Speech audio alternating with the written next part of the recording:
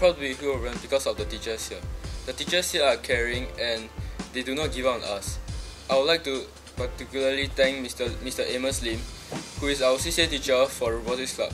He has been with me for 4 years and even though when I joined in Sec 1, he, I did not have any background info, he still let me join a lot of competitions and this really helped me build up my character. He has, also, he has also brought out the leadership potential in me and this uh, all this helped me become the president of the Robotics Club in 2012. Thank you Mr. Lim.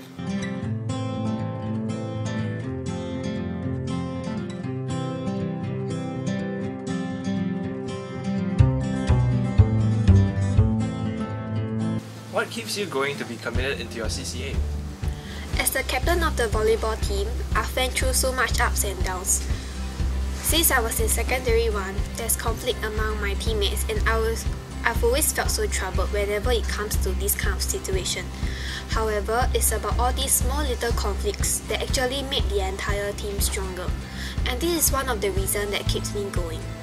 Most importantly, the team spirit is the main reason that keeps me motivated. The joy and tears that we once shared were all precious. In fact, we are just like one big family. I strongly feel that my teachers and my coach plays a big part of this as they really did their best to keep the team going despite all the problems that we once faced. Thank you. Um, my teachers and fellow CCA mates are the main reason why I am committed to my CCA and firstly, they always encourage me to do my best and keeps me motivated in what I do. It is because of them my potential as a leader was able to be brought out. So now as a head of St. John, I am now a much more responsible person in my daily tasks and all of this made me a much better person. Thank you! You want to know what keeps me committed into my CCA? It's the joy I get from learning with my choir members, learning different songs of different emotions, working by my teachers, and stretching my potential to reach further.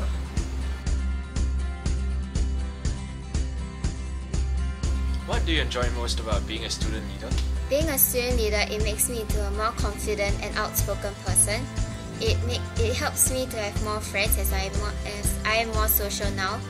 It actually provides me programs to extend my leadership potential and gives me opportunity to serve the school as well. Um, being a president of the student council, it actually gives me a lot of responsibility and teachers expect a lot, a lot, a lot of me. And I have to be a great role model. I hope that the student council will be a big family and will help to lead the school well and it will improve the standard of Hillgrove Secondary School.